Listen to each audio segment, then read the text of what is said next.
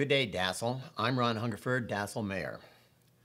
Due to the governor's stay-at-home directive, the city of Dassel, upon council approval, will implement phase three of Dassel's Community Emergency Health Plan. During phase three, all city buildings will continue to be closed and the work staff will be reduced to essential personnel only.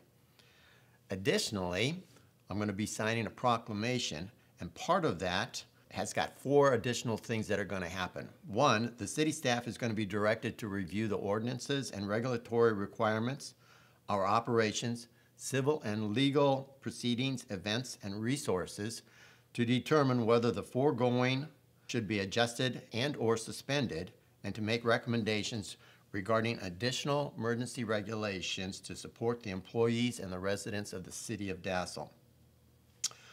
All city departments and offices are going to be directed to operate and support the response to this directive, the stay-at-home directive by the governor, under the direction and coordination of the city clerk.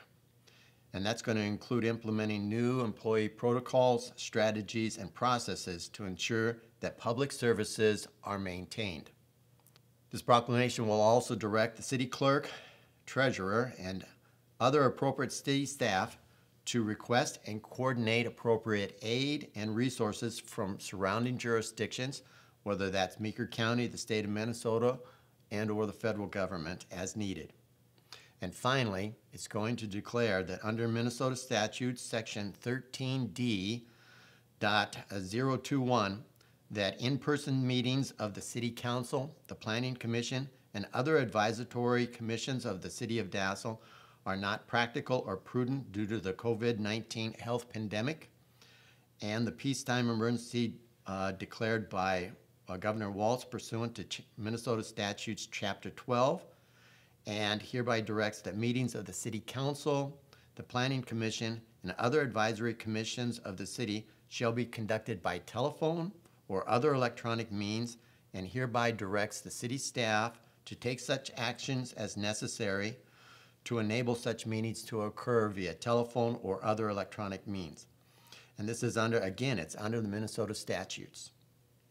And it's going to be in effect until such time as it's no longer practical or prudent for the City Council, the Planning Commission, and other advisory commissions.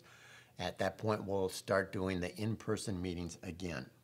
We will have additional information on our website and our Facebook page uh, giving, giving the citizens, the residents of Dassel, information on how they can still participate in these meetings, whether it's going to be over the phone or uh, just submitting questions to the, the City Hall. We will provide additional information for you and how that media is going to be handled. So for the next two weeks, according to the governor's directive, we are asking people to stay home and to stay safe. Thank you.